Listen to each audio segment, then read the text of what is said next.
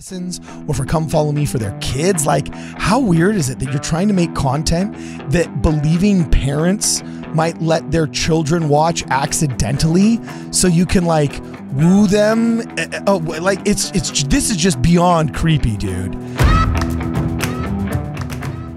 Good evening, everyone, and welcome to Mormon Sunday School with Radio Free Mormon.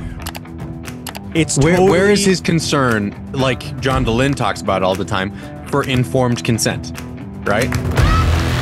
oh That is extremely dishonest. Like, that Dude, is- and these are the guys that have trouble with Scott Christopher. to me that is literally the epitome of they lie in wait to deceive it's a fulfillment of scripture it's just really creepy and gross and i don't want them around my children am i the only person that views this as like pretty evil I think you need to show your jersey. I think I think jersey covering is wrong.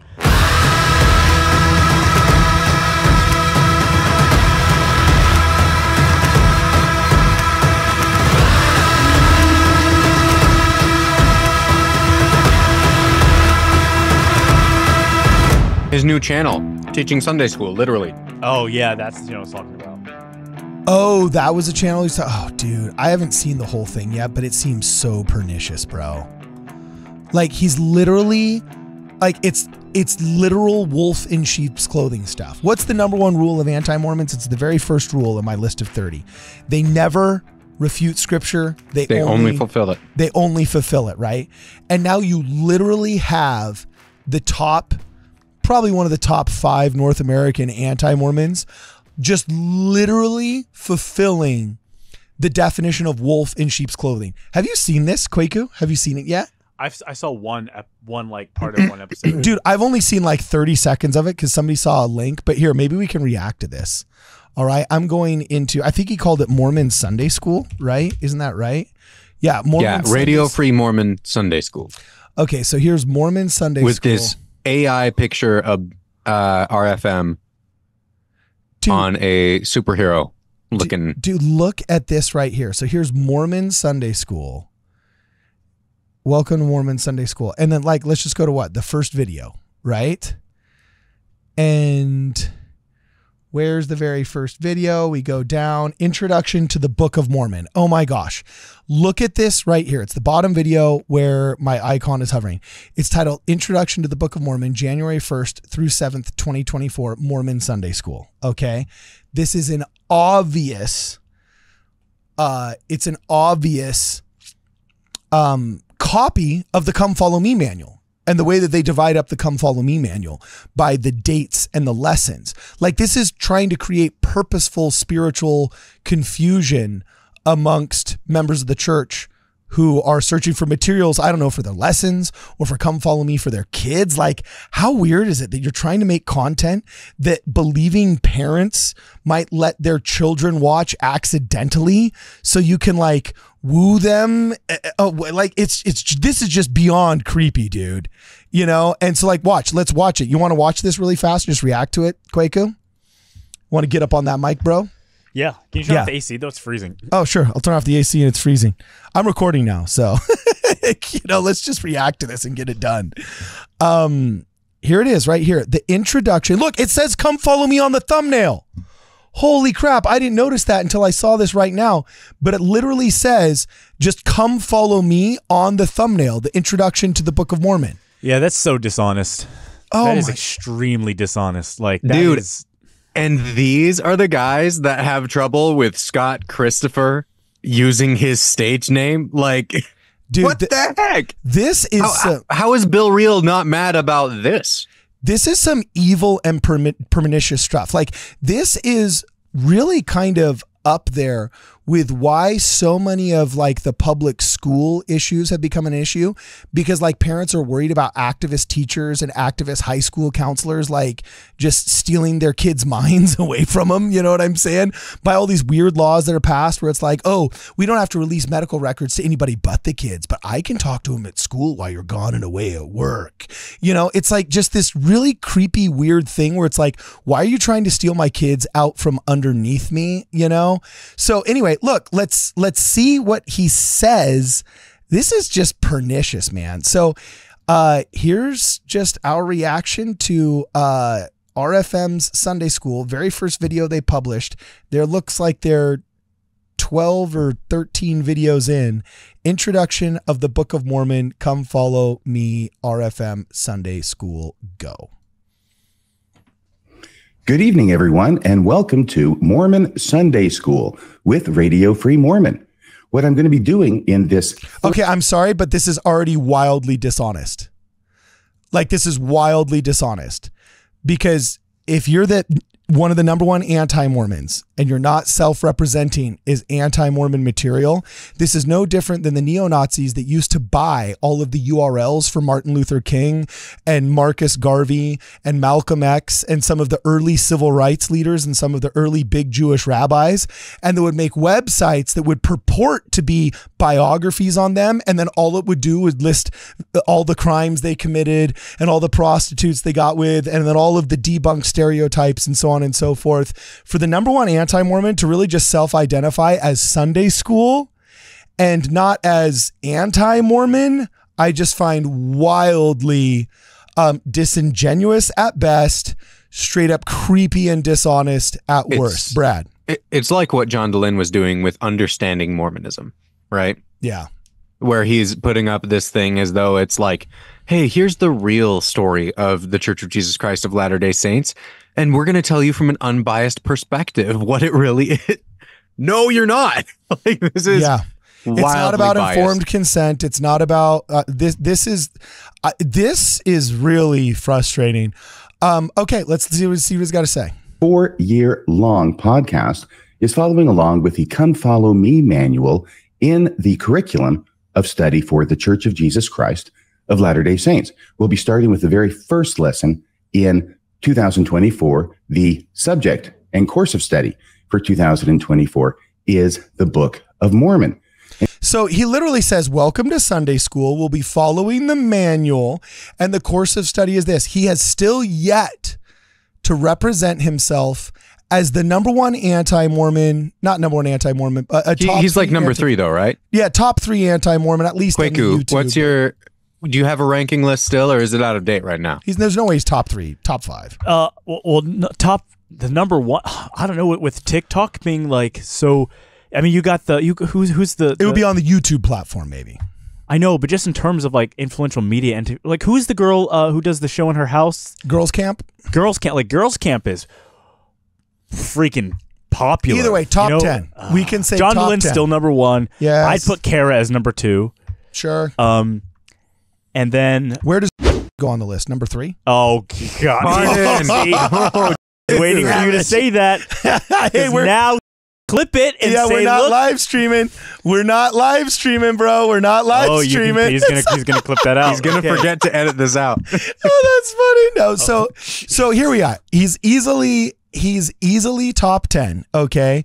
And he's self-representing at this point as just f- he's the Unshaken podcast. He's a seminary teacher. He's a come follow meer. And here's the slide that I've created. It says Mormon Sunday School with Radio Free Mormon, yours truly, where you learn stuff you're never going to hear in regular Sunday school. And as I said, this is the Come Follow Me manual on the Book of Mormon for the Church of Jesus Christ of Latter day Saints. Um, Let's Yes. I know it's ad hominem to say this. I understand. Okay. He's looking old. Is, is, no, I mean, isn't he? He's looking old. Now, Kwaku, I, I I, don't was think thinking the same thing. No, no, and not is like it- not like oh he's decrepit, but like you can hear in the voice. You can see Uh-huh. the dark mood lighting I don't think has helped him is what you're trying to say. No, no, he looks from the debate to now. He he's looking older. Is it the beard? Maybe. It's Maybe know. it's the eye- beard, the because he didn't have the beard during the voice. debate. Like you can see it in the posture. Or maybe it's just the cruel hypocrisy. Like I, could be just me. How but- old is RFM? I don't know. I thought he was in his like maybe sixties. Um, I don't know, but at this point, I think he's in his episode three, Emperor Palpatines. But um, get that Palpatines? Ah, I gotcha, I Ooh, gotcha. That is a, that is going to be a, I got. I mean, I kind of got the. Tip, yeah, that's going to be a very bad groaner foul. There's a reason why you get paid for your comedy and not me. So anyway, um, Yet, we can fix that. Yes. So let's just keep going. Another just two minutes. Like, oh, Brad. Also, how come your? I just realized how come your background is the same like divider every Chinese restaurant has next to like a and every know, massage parlor. Like every massage parlor trailer has that with bamboo. Did you just because steal they're it from? cheap. That's why. Either that or else he's like uh, hiding human rights violations behind there somewhere. You know? Yeah, what we'll if in like out. 20 years some documentary comes out like the Utah Strangler, Bradley Taylor Witbeck? Oh, that's pretty cool. That's pretty awesome, man. Okay, you well know, let's just let's just do another 60 seconds of this. Like uh, uh, I, I, I th- this just really does seem very wolf in sheep's clothing. Keep going. Lesson number one covering from January 1st through 7th of 2024. My idea is to get these lessons, these podcasts, these shows out a week in advance of when that subject is being studied in Sunday school in the LDS church to give you a chance to brush up on your gospel knowledge before you go to church. Notice how everything he's saying is like insinuating for his audience oh yeah, knowledge, things you won't hear in Sunday school, right? Like these things that to his audience make it clear what he's doing. But to anyone who doesn't know, it's going to go over their heads.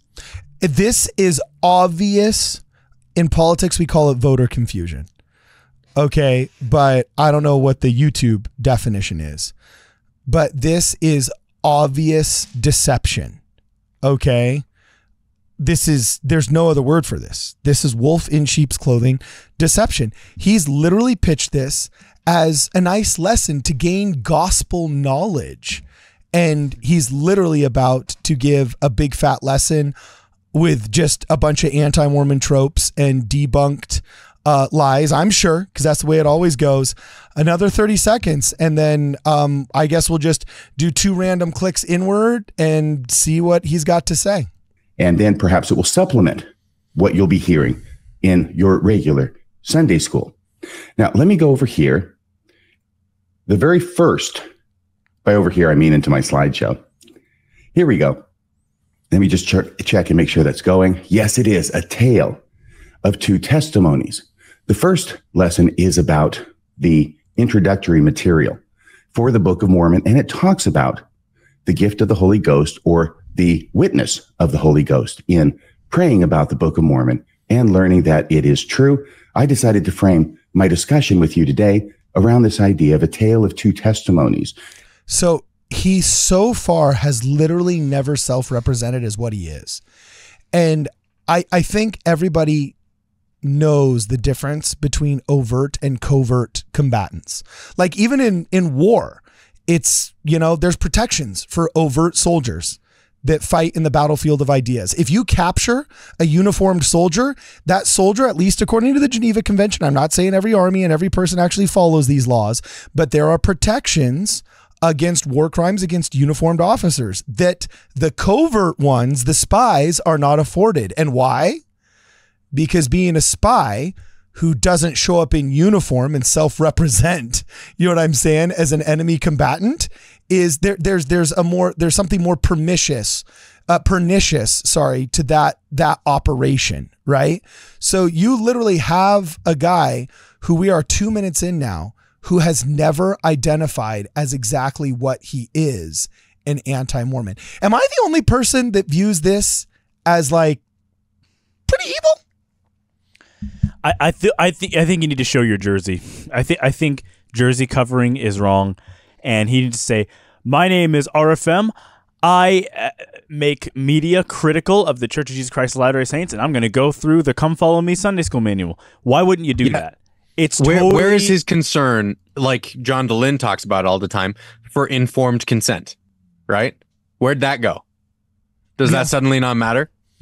Yeah, and where's the informed consent about getting into like th- there's never informed consent about what's going to happen if somebody's testimony is torn down. And don't forget, RFM is the guy who said that I am not my brother's keeper. I should be able to tear down uh, people's testimonies, their faith. I have zero responsibility once they've lost that framework and that organization in their lives. Like, even if you're cynical, you can't look at the stats of people that have lost their faith and think, whoa, maybe this isn't a good thing for society and we should be responsible in our ethics in doing this. This is the guy that said, I am not responsible for the fallout, the self termination, the depression, the obesity, the horrible horrible stats that follow so many of these people. And I'm sorry, yes, I'm sure there's plenty of people that say, hey, best thing I ever did. And great. I wish them peace. I wish nobody, but I, I wish everybody on earth as much peace in this life as they can get. And if exiting whatever faith organization you're a part of was part of that process, then fine, so be it, and so on and so forth. But the macro statistics of people leaving their faith, especially faiths that have codified rites of passage, have uh, um, you know a, a, very vibrant and robust sense of community that foster family involvement with the entire church group and so on and so forth. All of the stats show that those people not only do they have better more healthy lives they have better more healthy families they have children who are more well adjusted. And for you to take that away from those people you are statistically sending them into one of the darkest places they can go. And then to not self-represent as a critic and instead just end up making fake sunday school lessons that are meant to by I see no other excuse for not identifying as what you are. To me, that is literally the epitome of they lie in wait to deceive. It's a fulfillment yep. of scripture that they mm-hmm. are wolves in sheep's clothing. And I see no intellectually honest rebuttal to that claim. Do you, Brad? Am, am I off my rocker here? No, no. And and to me, I think about contrasting this with what Bill Reel was just doing when he was wigging out about Scott Christopher being the person showing up on a marvelous work, right? Yeah. Like, how do you have a problem with an actor hired to be a host having a stage name, but you don't have a problem with your co host guy, Bill Reel, having an actual channel where he never discloses that he is anti Mormon, right? Like, how? How do you square those things? How how is the stage name dishonest? But what RFM is doing here isn't. You bring up a really good point. We literally just did an entire podcast on how Bill Reel is calling stage name using actor getting paid to act dishonest. Meanwhile, we're two minutes in to Mormon Sunday School by one of the biggest anti Mormons on the platform of YouTube and he still has not self-identified as an anti-Mormon. Like this is this is pernicious stuff. It's creepy. It's uh it's unethical. Um I I I I, I have lost I I disrespect this completely. So we're gonna move on because this is just dark, and um, I don't see. I, have I've really lost a lot of respect for the ex Mormon community by allowing this kind of thing to happen. Like when they just kind of allowed. Uh, um, there was a little bit of pushback on who is that Norton guy that wanted to film with a porn star in the temple. Don't forget, um, uh, Bill Reel and RFM are the guys that said, "Oh, remember? Oh, you, you talk as though there's something wrong with it." When Mike Norton wanted to hire a porn star to have a sex scene in the Salt oh, Lake yeah, Temple, yeah, yeah, do you guys remember that? Yeah. Mm-hmm. So these are the same guys, and they're welcomed and lauded as heroes in the ex-Mormon, anti-Mormon community, and frankly, this is just sick. It's disturbed and it is perverse. So, um, I don't know. You guys have any thoughts before I close? I want to get out of this podcast and go and talk about something fun, you know? But yeah, for real. Yeah, exactly. I got nothing to add. Yeah, because this I, is... I wonder I wonder at what point he is going to be clear, you know? Like I'm I'm just watching through more of this. There's not a single thumbnail that I saw where he self identifies as somebody who is what he is. Here's literally introduction of the book of mormon all right? Gospel principles the holy ghost chapter 7 look let me let me just put this up on on the screen so uh, everybody can see this. I'm just literally just reading what's on the screen. Then gospel principles the creation and he literally has the covers of the book. Gospel principles on the thumbnail. Let's keep going down. Gospel principles, the creation, chapter five. Gospel principles, the fall, chapter six. Why is the Book of Mormon so boring? Okay, that's that doesn't self-represent as uh, anti-Mormon. That's actually just kind of funny, you know. But literally, not a single one of these videos says criticism of the Church of Jesus Christ of Latter Saints or criticism of the Book of Mormon, which is inherently what his whole entire ethos is. So, um, yeah, this is just creepy. It's weird. It's unethical. I, I, I, I don't see a, a, community that fosters this is just gross. So, yeah, dude, um, he he just I I'm still watching through, watching some of the captions and yeah, watching for it. He talks about how when he was a kid and when he was baptized, and that sort of stuff. Still haven't seen a th- single thing Yeah. where he's up front. This is the epitome of just fulfillment of scriptural of wolves in sheep's clothing. And it's it's just weird. I thought when i met one of these people once there would be kind of like some kind of cool edge to him. And no it's just really creepy and gross and i don't want him around my children. So um yeah. Anyway uh, let us know what you guys think in the comments below. We're gonna go have some fun now um, and not be super creepy and weird okay? Um, let us know if you think we go wrong, where we go wrong, and all of our ex-Mormon, anti-Mormon hate watchers that love to talk ethics and and um, abuse and so on and so forth. Please describe to me how this is not unethical, and um, we're all ears here because, frankly, I don't see it. As always, ladies and gentlemen, for this and more, please check us out at wardradio.com. I ain't trying to bring you down, but for real, you might as well give up now. Think you got a chance, but I don't see how. Got a real tight grip when I hold that.